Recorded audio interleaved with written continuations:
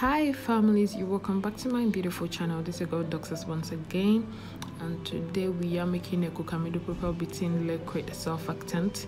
We have this in a powdered form and we are going to transfer it into a liquid form and sometimes you may have Cocamidopropyl Betaine in a powder form and incorporating it into your recipe is somehow difficult because you would have to heat it in you would have to um, dissolve it in a hot water before you add your other um, additives and sometimes some preservatives are heat sensitive so um, you would have to wait for some time for the water to cool down for your water phase to cool down before you add your other um, um, ingredients or other additives.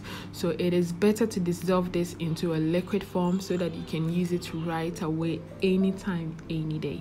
Okay. So um, for this batch i am making a 1000 gram batch and i need 30 percent of Propel Betaine powder and then 70% distilled water.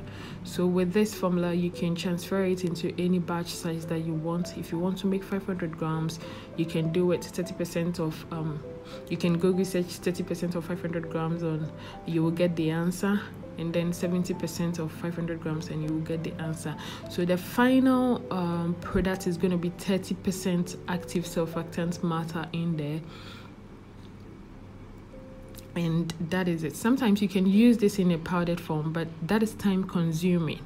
Yeah as i said earlier on you would have to dissolve it in your water phase first before you add your other ingredients and that is you it's going to take a lot of time from your formulation. So dissolving it before you add it to your before you use it in your recipe is actually the best way to do it. And if you want to use it in a powdered form it is up you can use it up to 10 percent.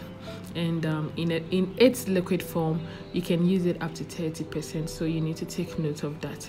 So um, I'm to dissolve this in the hot water and I think you saw the temperature on the screen around 155 degrees Fahrenheit. And um, that is the temperature required for it to dissolve because you cannot dissolve this in cold water so the reason why i'm pouring this bit at a time is because when you dump everything inside the distilled water the powder is going to clump up and it's going to be very difficult to even stir it. The last time that i did that um, I really really struggled. I even have to microwave again. I have to double boil it and stuff. And you know, water do evaporate. So all those process made me lose a lot of water whilst I was doing this. So the easier way is to pour the powder a bit at a time, so that it can give you easy access of stirring it, and then it will also help you to dissolve it faster. Yeah.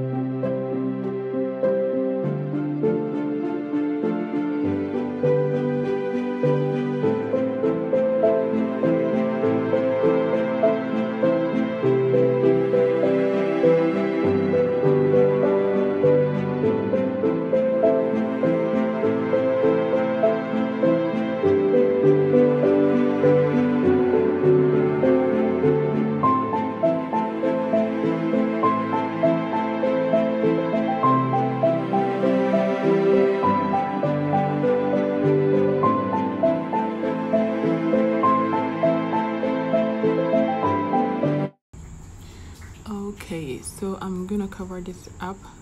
And i did cover this for like five minutes or so and then came back to give it a good stir because i was tired of stirring it my my my hands was um shaking. So i have to leave it there for a short period of time and then i came back to give it a stir again. But we are almost done. Yeah. We are almost done and everything has dissolved so you can see that left with some small crystal um, powder in there. And very soon they will all dissolve. And you don't really need a preservative for this um, surfactant because it has a very high pH um, around 8 or 9 so you don't really need a preservative for that. And um, with this 1000 grams too i'm gonna use this like in less than two weeks so i don't really have a problem with that. But if you want to add a preservative i don't know which preservative can withstand um, a ph of 8 or 9 yeah, so you can see that the pH is around 8 between 8 and 9 around there. So I don't know which preservative can work for this pH but you still don't really need a preservative for that. So thanks for watching this video. Please subscribe to channel for more updates. Bye bye